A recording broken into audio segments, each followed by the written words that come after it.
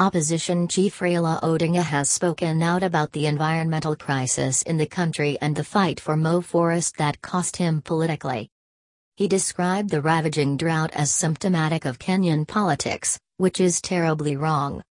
Recalling how he was viciously fought for spearheading the conservation of the Mau forest, the country's largest water tower, Raila regretted that policy was sacrificed at the altar of politics, putting the future of Kenyans in jeopardy.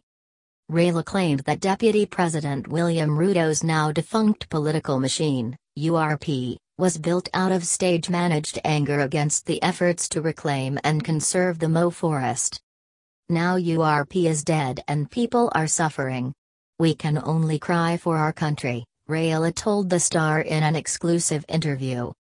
He went on, when policy is compromised because of who is pushing it and for the next election, then we have a serious problem as a country. The former prime minister spoke amid biting hunger, severe drought, and drying rivers that have put over 3.4 million lives on the line. The conservation of Ramo complex was a cabinet decision, but President Mwai Kibaki took a low profile as his Mount Kenya MPs ganged up with Ruto's men from the Rift Valley to wage political war against Raila. In November 2009, President Uhuru Kenyatta, then Raila's deputy PM and finance minister, attended a controversial meeting hosted by Ruto to raise funds for the Mau Forest evictees as the duo began their first steps to the 2013 general election. The Mau Forest turned into a frosty affair for Raila, in addition to the charges against Ruto at the International Criminal Court. It split ODM as Raila lost fanatical support that he enjoyed among the Kalenjin community from the 2007 election. The Mau Forest was one of the most consultative processes, Raila recalled on Wednesday. But it, the current crisis, is not something we can celebrate about and just say I was right and they were wrong. The situation is too serious for that. In October 2016, Raila warned that the SH 6.8 billion Northern Collector Tunnel in Murang'a County would turn the Murang'a, Garissa, Ukambani and Tana River Delta regions into deserts within five years of completion. The government dismissed the warning. Former Kakamega Senator Boni Khalwale claims the DP and his allies then ran an extremist campaign that made the Mau conservation impossible. I was in parliament then. Paul Sang, Joshua Kutuny, Isaac Ruto and the current deputy president ran rabid on the issue of the Mau. They wanted people to be allowed inside the moat to decimate it, Khalwale said on NTV on Tuesday. NASA politicians have now turned their artillery on Ruto, saying he too must pay the political price for opposing the reclamation of the Mau. If Raila paid the price for his stand on the Mau, we would also like Deputy President William Ruto to also pay the price when he attempts to become president for the havoc he has caused this country, said Khalwale.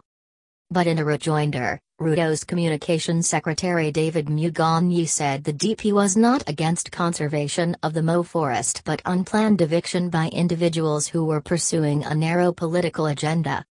Mau forest cannot be the cause of what you call drought havoc. The current drought is a result of wanton destruction of forest cover all over the country, Mugonyi told The Star. Mau is the largest of the country's five water towers. The others are Cherangani, Mount Kenya, the Aberdares and Mount Elgon, and the latter is hit by a wave of insecurity. Last week, the DP suspended logging in all forests in the country for the next three months as the devastating effects of the environment sank home. I am today stopping the felling of trees in all state and community forests over the next 90 days. We cannot continue with this yet. Our rivers are drying up at alarming levels, Ruto said in Bungoma County on Saturday. NRIC Senator Ledama Olekina, the new face of the Mau conservation crusade, described the destruction in the Mau forest as terrible. He told the Star that a private investor has set up a huge plant for mass production of charcoal inside the forest. We are no longer talking about 2 3 bags. These guys are doing a full acre, so they produce about 15,000 to 20,000 bags of charcoal daily. The rivers are drying, he said. The first-term senator said the Waso Nyiro River is completely dry, while the Mara River is slowly drying. All these rivers drain into Lake Victoria, so it's not only affecting local people but the entire country, Olekina said. The legislator said he doubted that the Jubilee administration was genuine in its efforts to reclaim the forest and claimed almost 80% of the leaders in government, including MPs and cabinet secretaries, are involved in forest encroachment activities. Raila warned that the effects of the destruction of the environment had been forewarned, including jeopardizing tea farming in Kericho and endangering the famous Masai Mara Park. Thousands of livestock have died over the last few months as the drought became more intense. Among the worst hit areas are Narok, Garissa, Wajir, Isiolo, Tana River, Kajiado, and Kilifi. Similarly, in other parts of the country, several permanent rivers are fading away into trickles. These include the rivers Nzoia, Elwakaka, Sayo, Yala, Ishaku, Munanguba, Kalaba, Musila, and Lasamu. The Sondu Miriu hydropower station, for instance, can barely build up enough water to run its turbines, while the river Nyando is completely dry in some sections, dealing a severe blow to rice farming in the Haro and West Kano irrigation schemes.